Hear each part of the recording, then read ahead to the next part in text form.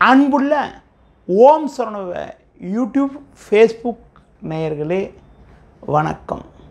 துலா ராசி நேயர்களே உங்களுக்கான ராகு கேது பயிற்சி பலன்களை பார்க்கின்ற பொழுது ஒன்று ஏழில் சஞ்சரித்த சர்பகரங்கள் திருக்கணித சித்தாந்தபடி முப்பது பத்து ரெண்டாயிரத்தி இருபத்தி மூணில் பயிற்சியாகிறது அதுபோல் வாக்கிய சித்தாந்தபடி எட்டு பத்து ரெண்டாயிரத்தி இருபத்தி மூணில் மாறுதலாகிறது.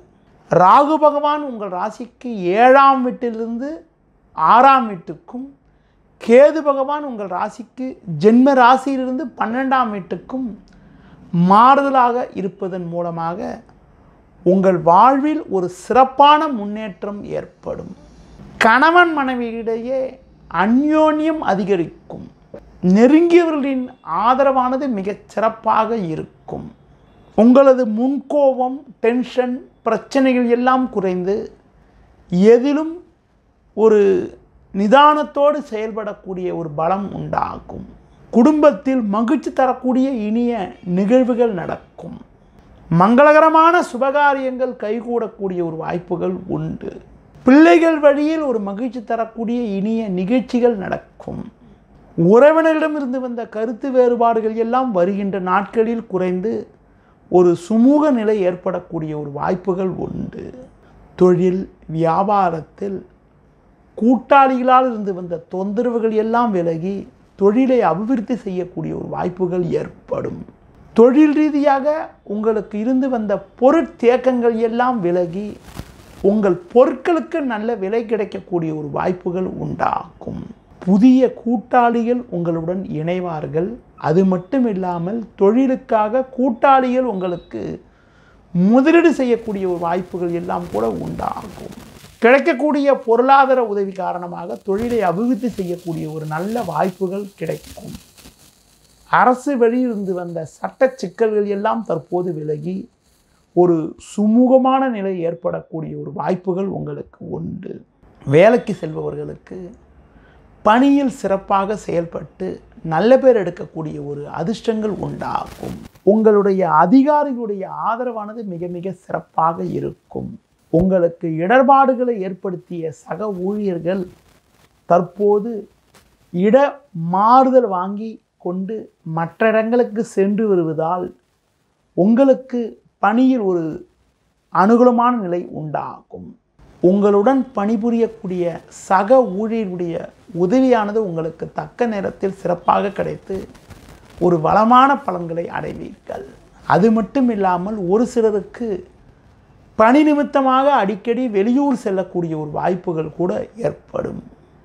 ஒரு சிலருக்கு உல்லாச பயணங்கள் செல்லக்கூடிய ஒரு அதிர்ஷ்டங்கள் உண்டாகும். இந்த தருணத்தில் சுக்கிரனின் ராசியில் பிறந்தவங்களுக்கு உங்கள் ராசியாதிபதி சுக்கரனுக்கு நட்பு கிரகமான சனி பகவான் பஞ்சமஸ்தானமான ஐந்தாம் வீட்டில் சஞ்சரிப்பது ஒரு நல்ல அமைப்பு என்ற காரணத்தினால் உங்களின் பொருளாதார நிலையில் நல்ல சிறப்பாக இருக்கக்கூடிய அமைப்புகள் அசையும் அசையா சொத்துகளில் முதலீடு செய்யக்கூடிய ஒரு வாய்ப்புகள் எல்லாம் உண்டாகும்.